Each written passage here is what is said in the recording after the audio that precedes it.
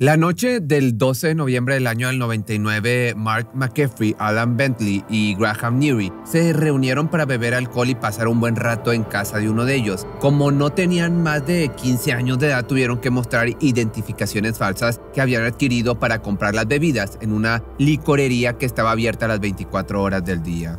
Dos botellas de vodka fue finalmente lo que consiguieron. Poco a poco fueron embriagándose y a medida que avanzaban los minutos se sintieron tan aburridos por lo que decidieron poner una película. Perros de Reserva fue la elegida, aquel film de Tarantino del año 92 que trata sobre seis criminales profesionales que son contratados por un hombre y su hijo para un trabajo. Como estos chicos estaban alcoholizados y un tanto inspirados por la película que acababan de ver, optaron por poner en marcha una venganza que venían orquestando desde tiempo atrás contra un chico de nombre Michael Mouse. Pues resulta que este se encontraba saliendo con la exnovia de Alan Bentley, así que el trío de amigos llamó al adolescente a su casa cerca de la una de la mañana del 23 de noviembre del año del 99.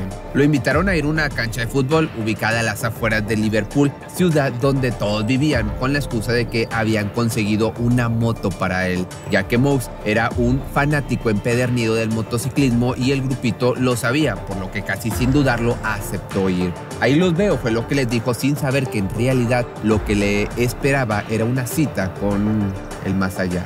Si bien no tenía una amistad cercana con ellos, sí les hablaba lo suficiente como para ir a divertirse. Lo único que le preocupaba a Michael era que Alan no viera con buenos ojos la relación que tenía con su ex. Fue entonces que apenas llegó a la cancha se dio cuenta de que algo no andaba bien debido a que el lugar estaba abandonado y no había rastro de los chicos por ningún lado, mucho menos de una motocicleta. Aunque prefirió no tomarle tanta importancia y siguió su trayecto, seguro son ideas mías fue lo que pensó, hasta que finalmente, luego de caminar por algunos minutos, se encontró con McCaffrey, Bentley y Neary, quienes se hallaban conversando debajo de un árbol. Los saludó como regularmente lo hacía y ellos hicieron lo mismo con él. Hasta ahí todo parecía normal. Sin embargo, de pronto un puñetazo lanzado por Alan conectó con la cara de Mouse. Enseguida le siguieron más golpes. A la golpiza se unió Mark y Graham. Debido a la brutalidad con que estaba siendo atacado, Michael cayó al suelo, desconcertado y desorientado.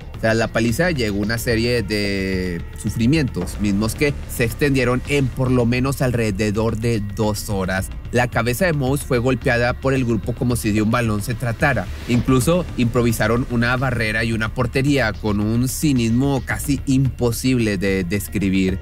Comenzaron a cantar una canción sonora de esta película al mismo tiempo que intentaron recrear la escena de este film donde un hombre es torturado con un objeto punzocortante y que es donde sale esta melodía. Para ello, rompieron la botella de vodka que tenían y tomaron los pedazos de vidrio. Luego Mouse, de también 15 años de edad por cierto, fue despojado de la camiseta que traía puesta. La razón, Mark, Alan y Graham querían jugar tres en línea y lo hicieron en su espalda. Juego también conocido como el gato, no sé cómo le llaman en tu país. Para cuando terminaron de divertirse, el cuerpo de Michael ya sangraba y prácticamente por todos lados. Más las cosas ahí no terminaron, pues el trío llevó a su víctima hasta un pasamanos donde se subieron a la parte más alta que pudieron y ahí uno a uno se turnaron para saltar sobre su cabeza. El rostro de Michael estaba, te podrás imaginar, irreconocible y no era para menos, se hallaba completamente desfigurado. Antes de que amaneciera y por el temor a ser descubiertos, estos tres chicos regresaron a sus casas. Horas más tarde, el cuerpo de la víctima fue encontrado por un transeúnte que pasaba por la zona.